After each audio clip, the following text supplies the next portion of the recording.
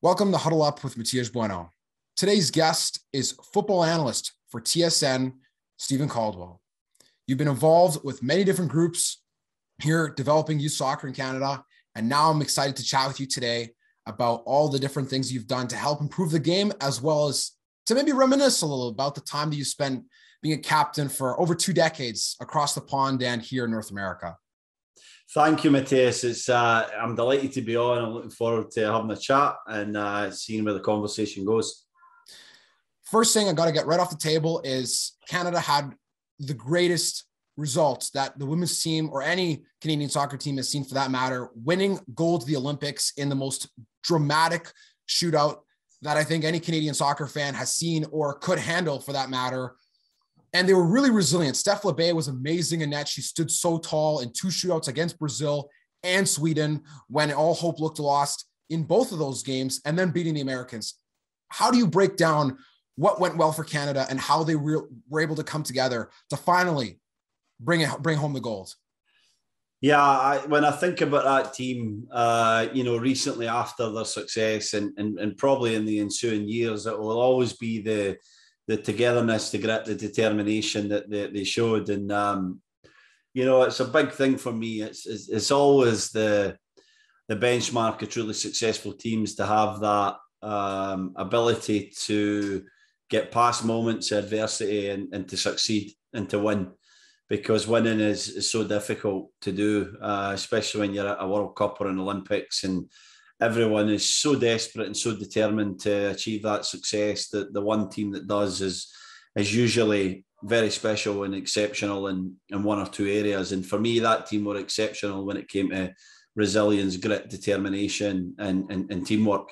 And they proved it uh, through and through. And so, um, you know, like really proud of them. And, I, you know, I know a couple of the, the women reasonably well. Um, and so to know them and know what they've been through in the last few years and their their determination to succeed, it, it made it even more special. And most of us were at our televisions, the, the, the largest number, I think it was the largest uh, event that was viewed throughout the whole Olympics in Canada, 4.4 million people. So it shows you how many people were were glued to their box early in the morning watching that game and the the roller coaster they took us on, you know, it was, it was nerve wracking. You just kind of felt like one goal was going to be vital, and for Sweden to get it first, it was a bad omen.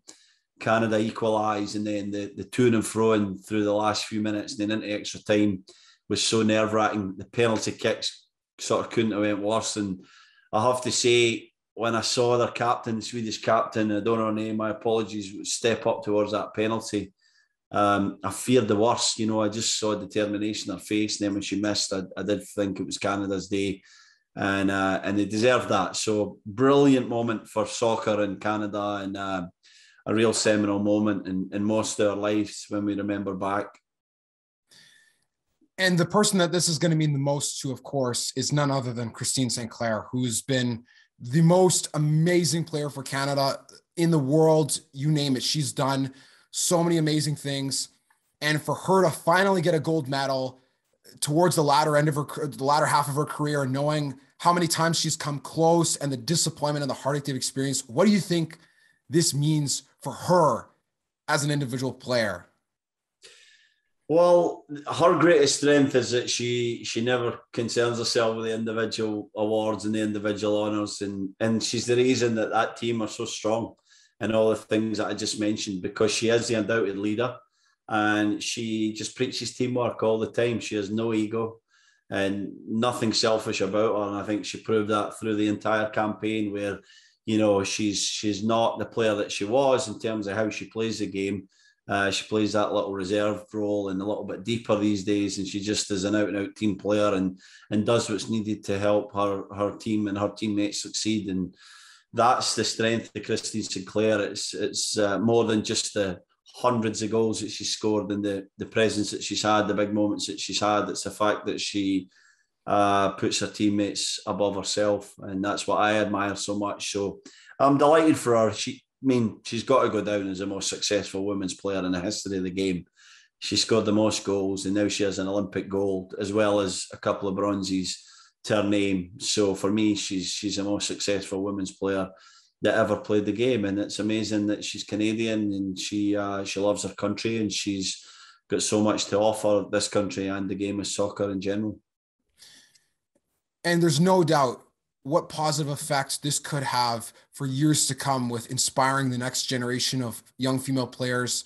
And even with your involvement in a few groups, as we'll get into in a little bit, you know how important it is to have those people to look up to. And even with what they've done with the CPL and the, the partnerships with many youth organizations, it's just going to help soccer only explode in Canada more. And that's really what this country needs because as you can see with the men's team starting to pick things up and with what the women's team have done, it's about time that Canada's starting to really get recognition on the international stage. Yeah, for, for any sport to grow, you know, you have to have that aspirational um, mindset or, or belief or vision, you know, and, and, and to have aspirational vision, you need reference points um, to for kids to, to, to see amazing things happen. And so every boy and girl in Canada has a, a significant reference point um, from that Olympic gold, and, and it inspires them. It inspires them to say, I can do that. I can be on that stage and I can uh, influence a nation like they did, you know. And so I think that it's very, very important. It's it's uh, a newish sport here in Canada. I know, I know it's been going a long time, but this the the sort of trajectory and the, the, the success and the growth of the game has been substantial in the last few years. Even since I came here in 2013 to, to 2021, there's been enormous growth in the game of soccer. So um, it's going to be massive. And, and you know, you, uh, it's tremendous for the women's game. Cannot deny that. But I think it's just tremendous for the game of soccer in general. I think that everyone, you know, sat at that TV watching that success has been impacted by it. I know I have, and I'm a 40 year old guy who my career as a player has been and gone. And, uh, you know, I, would like to think I still have influence in soccer in Canada, but, you know, the, the, the sort of influence it had on me is enormous. So I can only imagine what it did to a 12 year old boy or girl. So, um, yeah, sensational. So, so happy for them and, and delighted that we've had that moment. And, um, and it's up to others to emulate it now. It's up to other young girls or women to emulate that at the next Olympics or the next World Cup, and it's up to young boys and men to try and do the same at the international level of uh, of the men's game. For sure, you've seen it before. Canada's had some sprinkles of success in international tournaments, but it hasn't quite translated into a long-lasting foundation, unfortunately. I'm having spoken to a few other guests and particularly Martin Nash, who is a member of the 2000 Gold Cup victory against some of the biggest teams, beating Colombia, beating Mexico. It was just crazy. And thinking that that would be the turning point for Canada soccer, or 1986 making the World Cup, and them talking about how they thought that was going to help them go on a higher trajectory. But it w- wasn't meant to be at those at those moments. But now we have a strong core with the men's team, the women women's team finally getting over the hump. And you talk about you may not be that young kid that's being inspired after you're watching in front of your television, but still had a big impact on you, even though your career as a player is, has come and gone. So there's no doubt that this will have a huge ripple effect in a positive way on soccer in Canada going forward. But I must ask you though, as a young lad, who are some of the footballers or teams that inspired you the most that really just made you fall in love with the game?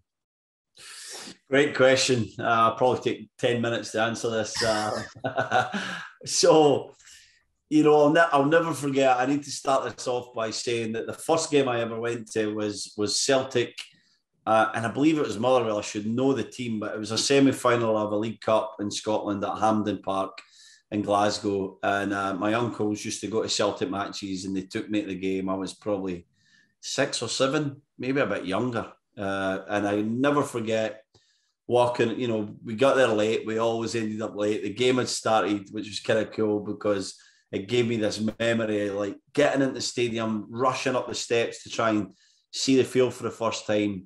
And just, you know, that moment when I came up the precipice of the steps and I could see the pitch in front of me, floodlit Tuesday and Wednesday night, Celtic, Motherwell, and they're playing there on the field, and and the hairs in the back of my neck stand up now talking about it. But at that time, I just thought, this is it. This is what I want to be. This is this is where I'm supposed to be. The love that I had for the game, the passion that I had for uh, for football, sort of began on that day. Like it made me realize that was my aspirational moment where I thought, this is what I want. And and thankfully I had the, the grit and the determination and a little bit of skill to push forward to get that. I, I watched Celtic a lot. Like I said, my family, my mum's family were Celtic fans. So there's some big Celtic players and teams that, that I remember for the past. Um, obviously, Paul McStay, John Collins, and these guys, a double winning team in, in 1988 was, was pretty incredible. Um, and um, where else would I go? Manchester United, 99, when I was getting a little bit older and they won their treble, was was something that I really remember. The Invincible. So I start going into my professional career, and then I think about teams that were amazing and, and inspired me. The Invincibles, the Arsenal in 2004 that I played against for Leeds.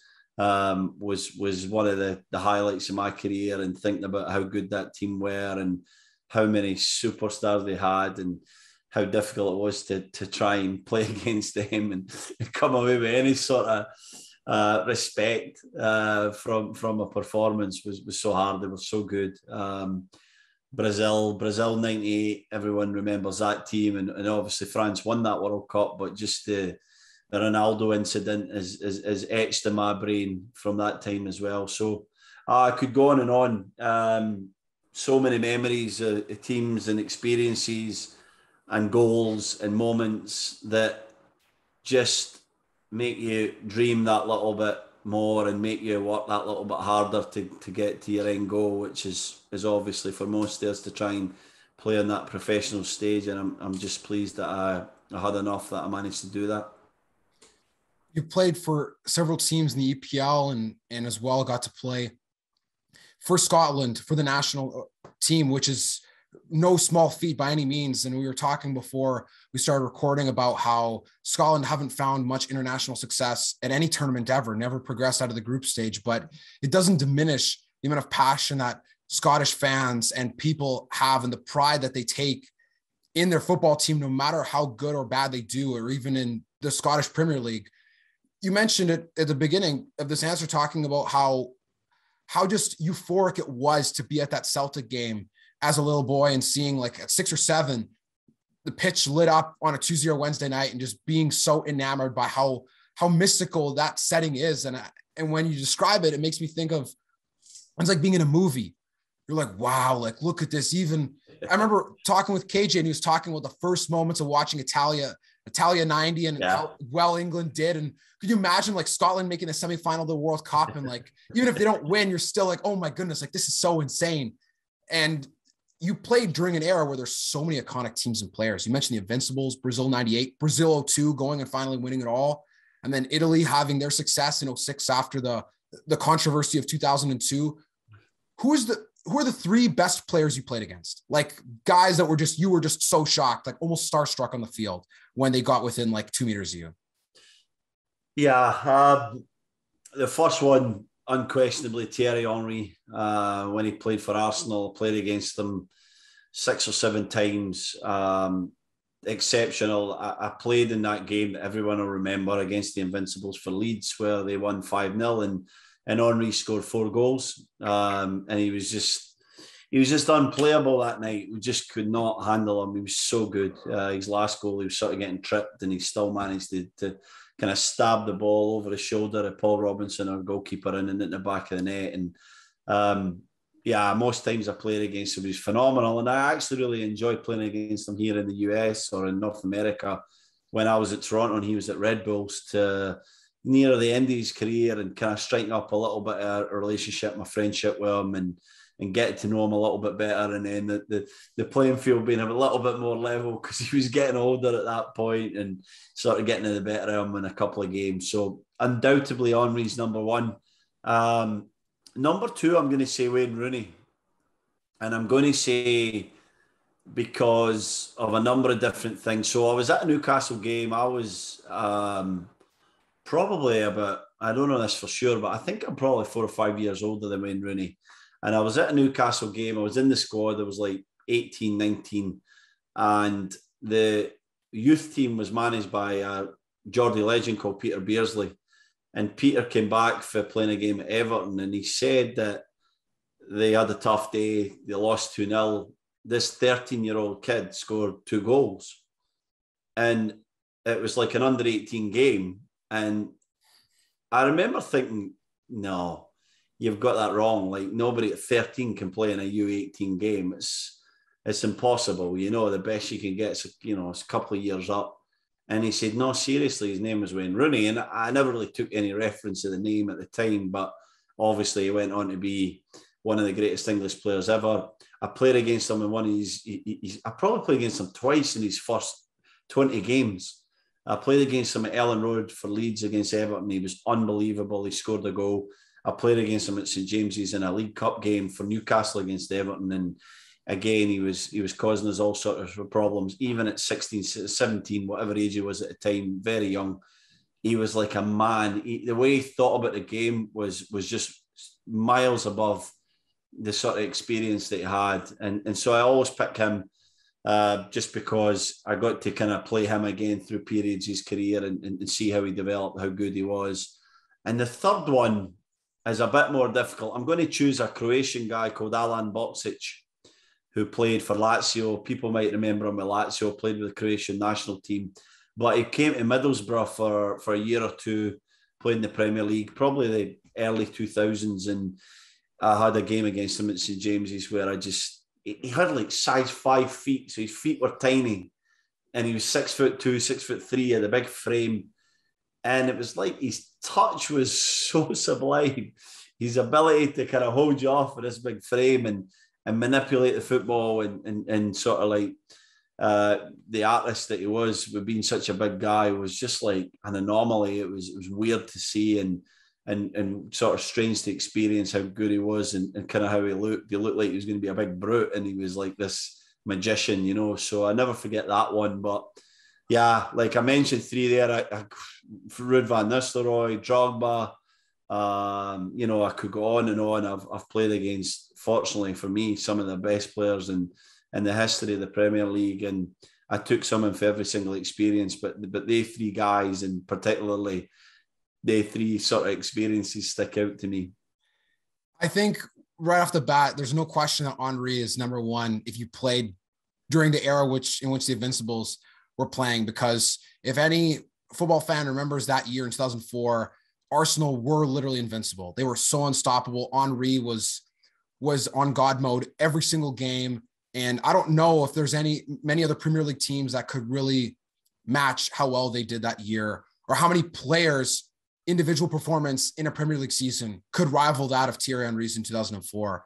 There, yeah, they, but the whole team was stacked too. Like they were amazing, and even if it was a, like Manchester United were obviously still good, and Chelsea, Liverpool, you name it. Liverpool literally won the Champions League the next year, but it, within within the same era, there was just something different about that team, and it's just it's crazy to think of how big the range is of all the players that you would go up against and how each of them would have something different and unique about themselves. And I think that's what makes playing the game more interesting than maybe the wins and the losses is looking back and saying, wow, I saw Henry in person. People watched from the stands, but you got to be on the field and really understand how amazing he was. And I know people will always jaw when it comes to talking about, oh, I'm better than this football or this guy, he sucks or whatever. But when you go out there in the field, even if you're on a team that's maybe a, a minnow in the in the terms of the Premier League, it's still a man's game with just an incredible level of talent. I'm glad you mentioned that because you know if you think back to the three players I chose, I never, I never said about any game where maybe I dominated an excellent player. You always think of the losses. You always think of the experiences where, you know, you're racking your brain. How am I going to handle this guy? This guy's got too many answers for me. Like I just, I don't know how to handle him. And so, you know, a lot of people look back and and and we know it's crazy passionate sport and you know there's a lot of rivalry and stuff like that and people say oh you remember that time this guy gave you, you know, hard time he scored a hat trick and and you say yeah I'm, i definitely remember it and I'm privileged that I was actually out there experiencing that because I can talk to you for 30 minutes here on what it's like to play against Thierry Henry but I can never encapsulate like exactly what it feels like. You know, it's it's it's harder than you can imagine. I always say it like, you know, if you think a guy's a good player, he's a very good player in real life. And if you think he's very good, he's exceptional. And if you think he's exceptional, like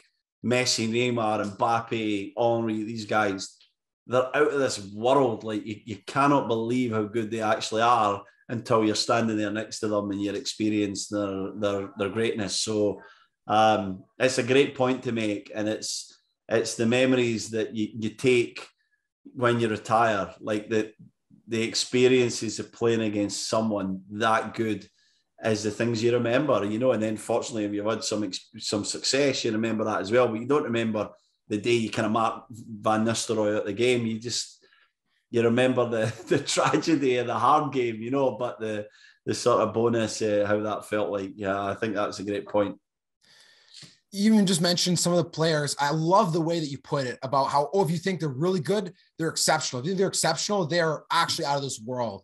And I know that people in all sports, but football in particular, love, love talking about the Messi versus Ronaldo debate. They love to beat it to death and say, oh, well, Messi won the Copa America. So now that's the equivalent of the Euro. Or, oh, well, Ronaldo won this first. So, or his age or this goal or this team. But the bottom line is, how many times in history have we seen two players that are this out of this world playing at the exact same time within the exact same age range, playing against each other on the club stage tons of times. You very, very rarely see it. Whenever people compare eras, it's hard, but you don't really, you can't sit there and say, well, if Ronaldo played in the 70s Brazil or if if Pele played in the 80s or whatever, like it didn't happen. You can never sit there and say that this would have been for certain because you'll never you'll always just wonder what if. Whereas like Messi and Ronaldo, there's comparable data and that you would see them play against each other. But again, it's not to sit there and critique and say, well, Ronaldo's not good because Messi's good, or one has to be one has to be better than the other, or one is really good and the other cannot be really good. There's no crossover. Like that's to me, that's just so insane. Like you have to appreciate how amazing they are and the fact that you get to just even watch this. Yeah. Uh, how do you compare them? How do you compare a, a Lamborghini and a Ferrari? It's impossible. They're supercars. They're like they're both amazing. Like it's a preference. You, you maybe like the shape of a Lamborghini better than a Ferrari, or you like the noise, or you like the color, or you like the interior. There's just like these small little preferences that as human beings we go one against the other. But when you try and analytically compare the the, the data, the goals, the assists it's really hard to distinguish between these two guys because they're so close to each other. And the fact that they're so close to each other, I believe, and this is where I think that real respect comes between Ronaldo and Messi. They know they could never have been themselves without each other.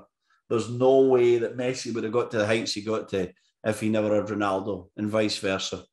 And I think Ronaldo always had that little bit of chip in his shoulder to push himself more physically and in the gym and professionally to be the best he can be, knowing that that was the only way to, to hang on the coattails of this just mercurial talent and Messi and, and, and a kind of once in a lifetime natural talent. And so uh, it is a preference. I never like to choose. It's, it's just like so hard and, and so sort of relevant to say one's better than the other when you look at the, the overall package of a professional football player and it's just uh, uh, uh, it's just one of the things where you say, well, I enjoy watching Messi because I enjoy watching somebody just glide by people for fun and and you know the flicks and tricks and finishes that he comes up with, and and, and that's me. But someone else might just love the power and the the focus and drive of Ronaldo, you know, and, and I certainly respect that. So um, yeah, I, I just really think they would just never have been one without the other, and and that's why they're, they're so grateful. They've pushed each other to be the best two players of all time. And and the other thing that football fans understand too is like to sit there even compare within countries and say, well, oh, Messi will never be as good as Maradona because he didn't win the World Cup, or we'll never hold him in the same regard because like, do you know how hard it is to win the World Cup? Do you know how many times a team like Germany made the final in a row before they finally won? 82, they lost. 86 they lost 90 they finally got over the hump or brazil how many years that they didn't make the world cup final and people regard brazil as the best team on earth or italy winning the euro how many years had it been since italy won the euro 1968 so it'd been over 50 years or England even getting to a final. When was the last time they made the final? 66. They hadn't even yeah. come close. Like they'd only come close twice since in 90 and 2018. So that's part of what makes it magical to like witness these players do amazing things because if you come from a nation like Scotland, like I bet you wish you could say, "Oh man, I, I was so happy to see my team lose the World Cup semifinal. Like we got we got there." As a player, you'd be honored to have been in that position rather than, "Well, we never never even got the chance." Uh, it's a team sport as well. So when you start to try and compare who's the best, uh, what they've achieved with an international team or a club team, it's it's absolutely crazy. You know, like I think Dani Alves won his was it his forty fourth title at the Olympics there, which is just incredible. Forty four titles, but and I don't mean this in a slight, playing devil's advocate. He was playing with Xavi and Iniesta and Messi for you know I don't know maybe maybe thirty some maybe forty of the titles.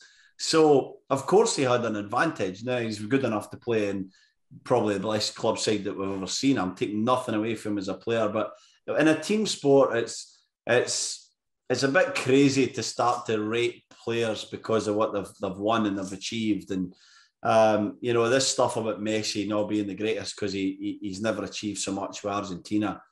He, he's came to the, the edge. Uh, you know, was it extra time in the World Cup in uh, in fourteen against Germany. It was two penalty losses, I believe, in the Copa America against Chile.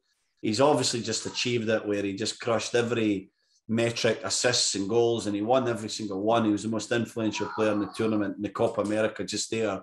And as he wins it, you've still got people saying, well, you know, it's a 10 team tournament and it's harder to win the Euros. Yet Ronaldo won the Euros where they drew every game in the group stage.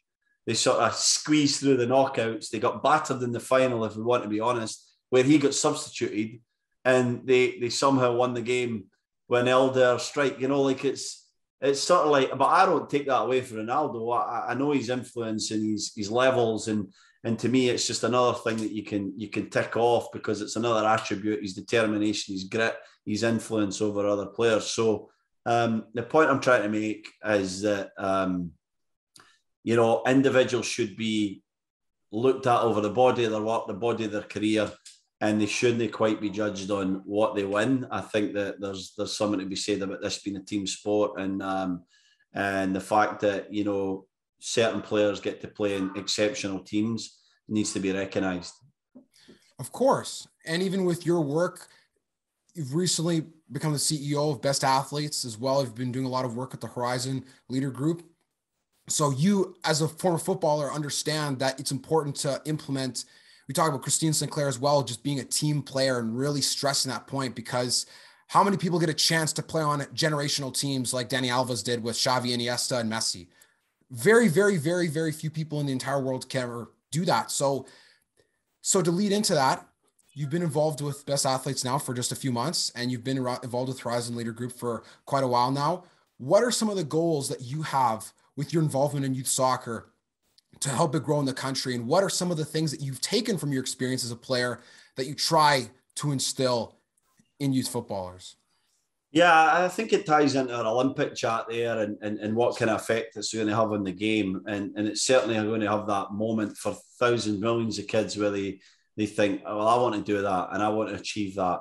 And a lot of them, unfortunately, don't have that mentor or that sort of inspiration to go and do it. So, best athletes is to try and democratize youth sports, and it's to try and say, we will help you by giving you this platform to assess yourself, to compare yourself, to um, strive to be better and to improve, to then market yourself and recruit yourself to get to the highest level that you possibly can. So, we're a, we're a data analytics company in, in youth sports. We're, we're starting in soccer for obvious reasons. A lot of our our uh, founding partners and in, in, early uh, management have a background in soccer, but it will be applicable to uh, hockey and basketball and lacrosse and rugby, and and it's it's built around these assessments. So you've got physical, you have mental, and you have technical, tactical assessments that allow you to see where you stand and where you need to improve.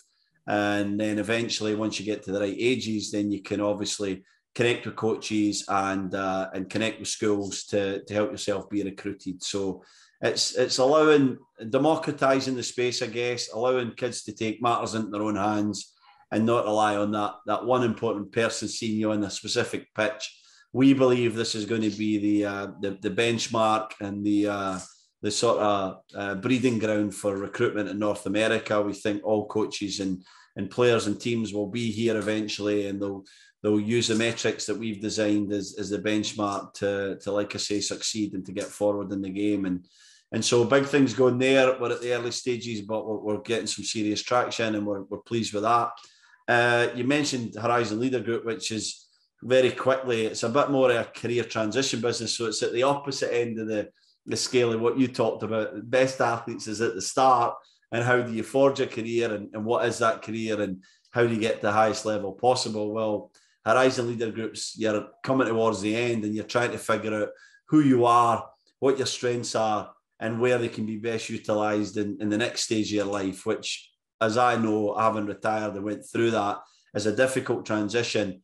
But once you get through that, doors open up that you would never believe. You know, you, you, you move into different walks of life that the things that you've learned as a soccer player or a hockey player or a basketball player are very applicable in, in business life and in normal life. So our idea is that we, we take athletes, we, we support them, we help them through that process, we give them the tools needed to be successful and to to find their next calling in life. So uh, doing some great things there as well, and really proud of that work. And uh, yeah, it's it's interesting. I've never realised for the, for the first time there, I sort of really realised that I've got the beginning with best athletes, and then and then the sort of after life with uh, Horizon Leader Group. So uh, I'm proud of it, and I'm, I'm I'm delighted to be working with two great companies. I'm a founding partner in Horizon Leader Group, and of course uh, CEO of Best Athletes. But super passionate about both, and really feel like they can help people succeed the way in which you described how crucial the beginning and the end of that phase of life is is just phenomenal because with many of the guests I've spoken to, especially here with Canadian and American football, one of the biggest things that people struggle with is loss of identity. You play and you play, it doesn't matter what sport, you're playing at a high level and everything's on the line, you're doing everything you can, and people are watching you and they're supporting you, or sometimes they're not. And then when it's all over, what do people say? First thing when they see you again. Oh, well, you played here, you did this, right? And then it's hard to get over the fact that that part of you is is no longer true. Like you are no longer that athlete and you were but now you're a different person and people trying to find out what that means can be super difficult. And if you I'm sure you even think about Olympians, I, have seen on social media a few things talking about the hardest thing about the Olympics is two weeks after. Depends on what country you're from. Some give more prize money, others don't. Some give nothing.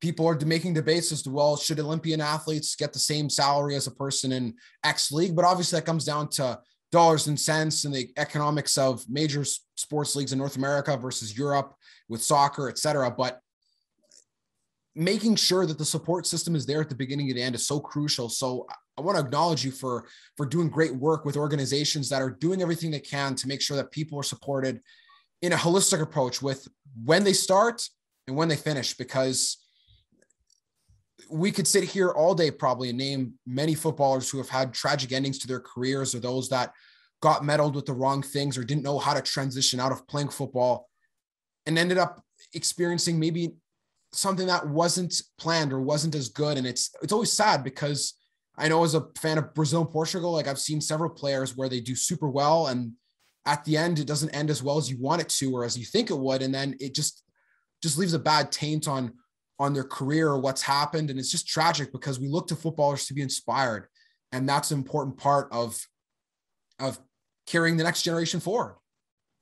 Yeah absolutely. And and you know it's hard to realize when you're in the middle of a career, but you know, we all are more than an athlete. I think a lot of athletes are starting to realize that.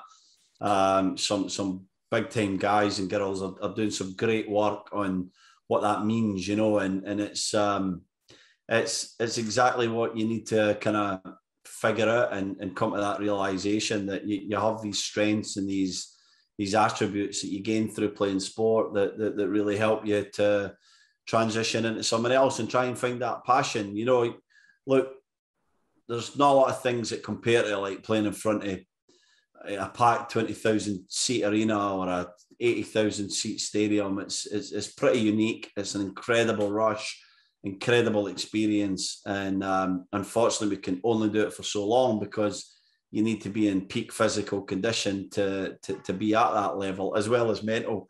And eventually, you know, it, it's hard to stay at that forever. So, you know, realizing that and knowing people have your back is a big thing. You know, mental health is, is a big part of this as well. And we all have our moments, whether you're an Olympian, you've had that crazy high, that rush of winning that gold and being on every show you can imagine when you get back home and, you know, open top bus, whatever it may be, every you, go to your hometown, there's thousands in the streets. And let's be honest, a month later, none of us will be talking about the Olympics. And, and so you go, you feel like you go right down to here and you wonder how how that happened and, and what you're going to do next. So you've always got to have that bigger picture in mind. And you've always got to realize that winning something or being part of something great is your moment to your fleeting moment, as a good friend of mine says, to market yourself and to to kind of position yourself for what you want to be and what you want to say, you know. And uh, and so we really do a lot of work there. We do a lot of discovery work about who you are, your perception in the outside world, uh, you know, internal tests on what your personality is, how you like to learn, you know, where your strengths and weaknesses are, so you can figure out what decisions need to be made to set you up for success for, you know, beyond playing, which is usually the, you know, more than half your life. You know, you think that you think you're like I can remember thinking yeah, this word retire and everything's like sort of around about the fact that your your life's coming to an end, but you're like 35 years old, 40 years old. It's like it's crazy, you know. It takes a while to realize that you've got half your life ahead of you and a lot of achievements still to fulfill. So um, yeah, I love the support and the work that we're doing there. Um, it's it's slowly but surely picking up because as we know, nearly every athlete needs it it's just a case of getting to the right people and, and, and getting our, our voices out there so people know how we can help. Of course. That's the only way to go forward is to build brick by brick. And you guys are taking a strong initiative on doing that and bringing the sport together or multiple sports together to really help athletes because mental health is becoming more increasingly important as time goes on and is getting more attention and exposure but as it should have the entire time because it's as important as our physical health. And if you look at the the struggles that athletes have had with not being there mentally, like it's enough to be there physically, but if you're not there mentally, then it's very difficult.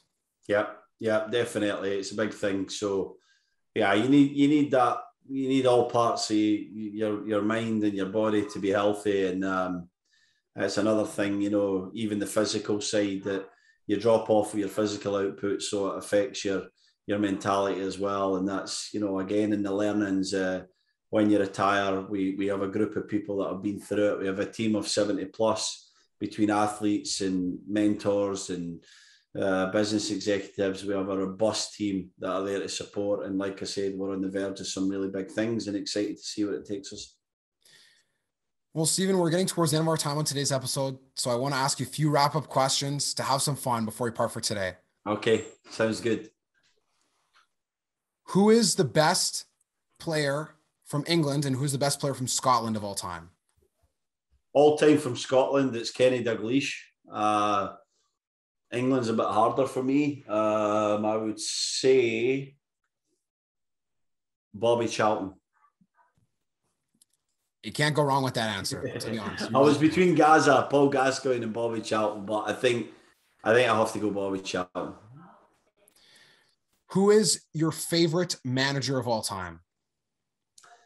My favorite manager is Chris Hughton, uh, who was my manager at Birmingham City. He's now at Nottingham Forest. And um, was that the question? My favorite? Yeah. yeah. Your, favorite, your favorite. Yeah, Chris. Chris. Chris was great. I love working with Chris. He was a mixture of, you know, experience and and uh, empathy, and then also determination and grit and tactics. I loved him. Great manager.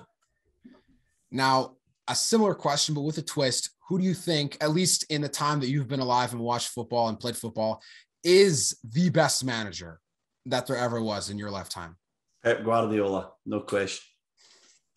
Pep has done so many amazing things, and it's he's done so many amazing things across so many continents. So it's he's a genius. He's a genius. The guy's a genius. He just thinks about the game on another level, and he comes up with uh, tactics and ways of playing that are just just incredible. And he gets the best out of players. He improves everybody he works with.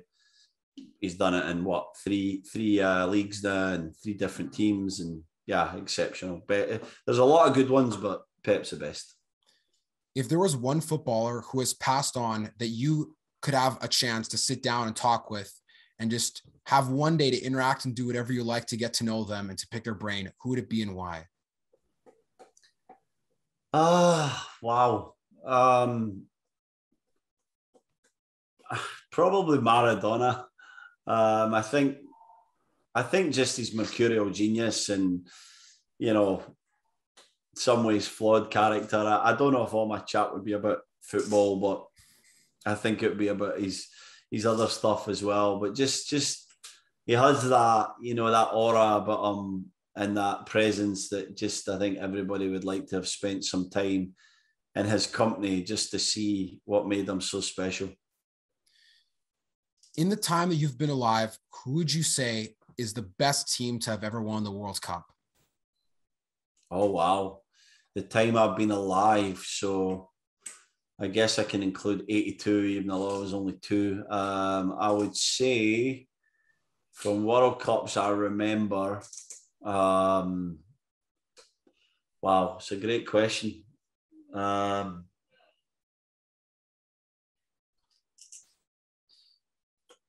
mm, it's a tough one, this one. Yeah, maybe Brazil 2002. I'd probably go Brazil 2002 for for flair. I, I would try to think a team that had a little bit of everything. I'd say Brazil 2002. I mean, like I won't argue with you there. That team, I was even saying to to people I know, asking all my friends who come from different backgrounds and ethnicities, like, who would you say is the best player of all time from your country, or which team is the best World Cup winner from your country. And when I think of Brazil, I know everyone talks about 1970 and they were so amazing, but like there's something about 2002 I think that is a little underrated. The way Ronaldo played and the comeback from 98 and even the game against England, like that game was crazy in and of itself. Like the Ronaldinho goal over David Seaman and Michael Owen opening the scoring. Like who would have thought? Like, could you imagine what England fans were thinking? Like whatever time early in the morning or the day they're watching and like we're leading against Brazil. This is really happening right now. David Beckham, this is his revenge tour. Like after his fall, uh, his disgrace from '98, this is when it's all going to come together. And then Rivaldo slides one home, and then Ronaldinho just stuns an entire country. That's yeah. I, I can't argue with him in Brazil 2002. That's definitely yeah, some team. That there they were something. But the final question I have for you is this: If there was one team that you could have played for during your career as a footballer. You could put yourself on them no matter what. You transfer yourself there, like no one could stop you. Who would you want? Which club would you want to be a part of, and why? Anywhere in the world. Oh wow, it's a question. I think we've always went through the one club that you maybe could have signed with. Um, I would have to say Barcelona. Barcelona, you know, sort of 08, 09 to, to 11 or 12, you know, it was just obviously I was playing, I was in the peak years of my career. Um, so, yeah, when I think back to that team, the, the style under Pep, the quality players that we've mentioned the, earlier in this podcast, Messi, Iniesta, Xavi, um, yeah, that would have been quite quite something. I think that's a great way to wrap up for today because the double treble is something that has never been done and might not ever be accomplished since. So, with that, Steven, I want to thank you for having been on today's episode. I want to acknowledge you for all the great work that you've been doing in the football community with grassroots here in Canada and across North America. I've really enjoyed chatting and reminiscing with you about so many great footballers, teams, and all the experiences that you've had playing against some of the greatest players that there were in the Premier League. Thank you so much for having been on today's episode. It was a great, great pleasure. Thank you, Matias. It was a pleasure for me too. Well, thank you for listening to today's episode with TSN football analyst Steven Caldwell.